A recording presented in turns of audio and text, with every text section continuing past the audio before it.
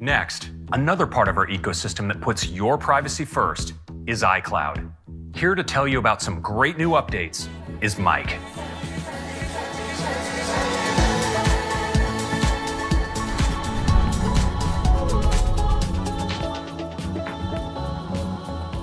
Many of us rely on iCloud to safely store a lot of personal information, and it's important to always have access.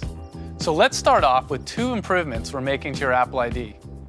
First, we're adding a new way to get back into your account if you ever forget your password or get locked out.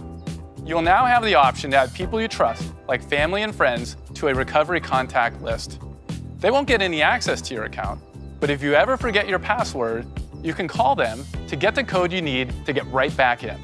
It's fast, easy, and secure. Second, we're launching a new digital legacy program. We don't often think about it, but it's important that we can easily pass down information to family members or friends when we pass away. You'll now be able to add people to your account as legacy contacts. So when you're gone, they can simply request access and your information can be passed along quickly and easily.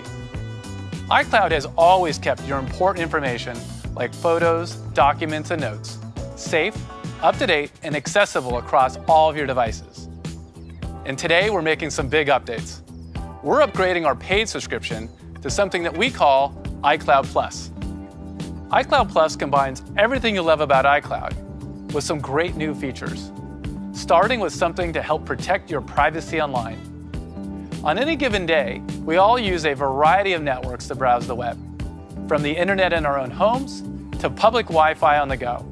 And behind the scenes, network providers and websites can combine your identity and browsing history into a detailed profile about you.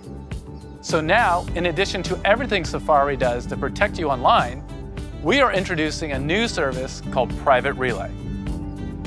It lets you browse with Safari in an even more secure and private way. And the way it works is really cool. It ensures that the traffic leaving your device is encrypted, so no one can intercept and read it. Then all of your requests are sent through two separate internet relays. It's designed so that no one, including Apple, can see both who you are and what sites you're visiting. And it does all this without compromising performance. Next, let's talk about another iCloud Plus feature, Hide My Email. We've all had moments when we've thought twice about sharing our personal email address, like when we're filling out a form on the web. With Hide My Email, you can share a unique, random address that forwards messages to your personal inbox. And it's built right into Mail, Safari, and iCloud settings. So it's easy to set up as many addresses as you need and delete them at any time, keeping you in control. iCloud Plus also includes built-in support for HomeKit Secure Video. More and more of us are using security cameras to keep an eye on our homes. With iCloud Plus, you can connect more cameras than ever, and none of the video counts against your iCloud storage. It's just a part of your subscription. Of course, you'll still get everything else you love about iCloud, including photos, backup, and iCloud Drive.